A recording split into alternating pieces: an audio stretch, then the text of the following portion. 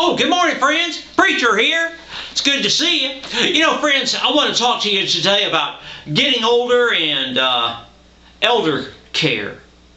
You know, a lot of people need elder care. Now, they can need it maybe for non medical care and assistance, you know, like helping them take care of the house and, and things like that. Well, you know, there's a uh, website that some of the folks down at the congregation are using, and it's called comfortkeepers.com. You know, they offer in home care uh, for non medical care and assistance to seniors. Oh, you can go there and find out all about franchise ideas and agencies that are available and things like that. Friends, we love you. We do. And we want you to take good care. Check these folks out, won't you?